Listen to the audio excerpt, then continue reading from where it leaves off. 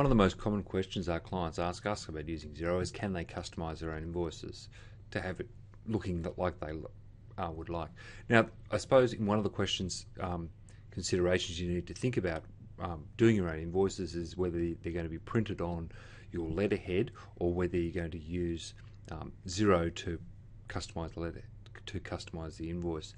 One of the issues in thinking about that is if you're going to use your own letterhead, if you try and PDF create them as PDF files directly from Xero, which is one, and email them, it won't necessarily have your letterhead details on it. But let's just look at the standard ways we can edit the standard uh,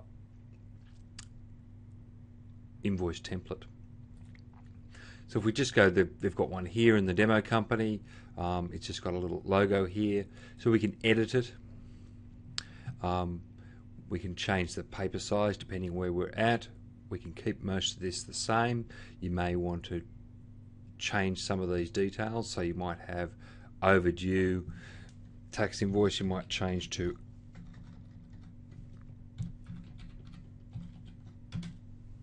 overdue, tax invoice, credit note, statement. So we want to say the tax number, depending on what type of um, business you're in, you may want to show the column headings, the unit price and quantity. Um, there might be a payment advice slip for people that they can tear off if they like, um, the tax column, and show the logo. So in part of this, we want to show that there is uh, you, you want to put your company name and address. So we'll put that in there with uh, PO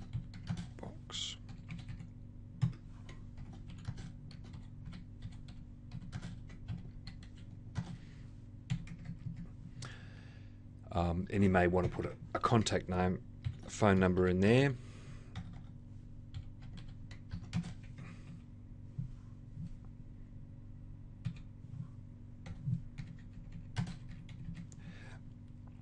and we may, um, in this instance, um, you can also use uh, uh, use PayPal to collect your, your invoices. It's just a matter of putting your PayPal um, email address in there and it will directly connect to things. And we can also put in the terms of advice. So you might put in here um, payment within seven days. So we can we can change a fair bit around in relation to the to the invoice. Um, we'll just save that for the moment.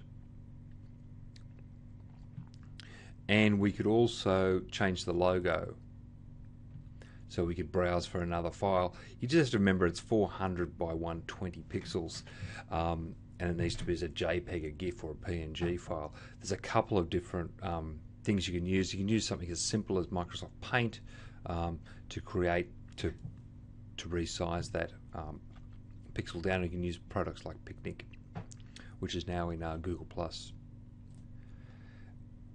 And just to see how that actually looks, let's go to invoicing, accounts receivable, and we'll look at awaiting payment. And we'll just call up one of these invoices here.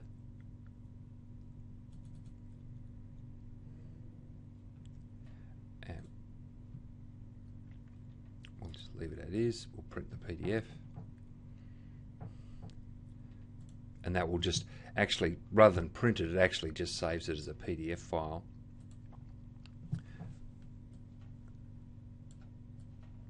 and so we can see how it looks. It's called overdue tax invoice. Um, there's a description, quantity, unit price, GST, the total. Um, it's also showing the total GST there.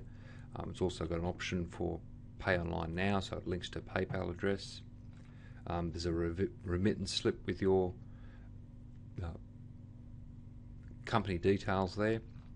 And so we can change this part of it round. There's other parts that we may want to change around. So for all intents and purposes, it's quite good for just a basic invoice